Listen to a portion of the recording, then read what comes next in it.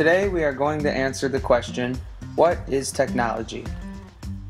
When you think of technology, what do you think of? A telephone? A camera? But what about a table or a chair? Would you consider that technology? Let's investigate to find out.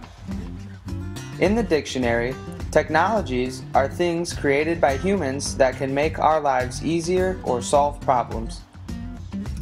All humans have basic needs, such as getting water and food and having a shelter. Technology is a way to make this easier.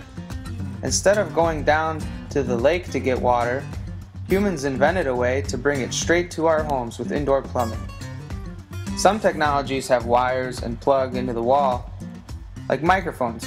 Microphones help to record sound. Laptops help us get information, type papers, talk to friends, and much more. But some technologies do not have wires at all.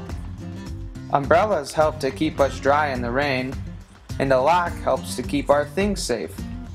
A pencil helps us write down information, and a fork helps us to eat food. So let's go back to our first question. Is a chair and a table a technology? Created using Powtoon.